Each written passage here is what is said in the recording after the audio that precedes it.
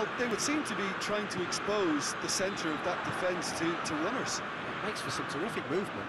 It does, and they may be hit on the break because obviously it requires. Oh, real and the shot!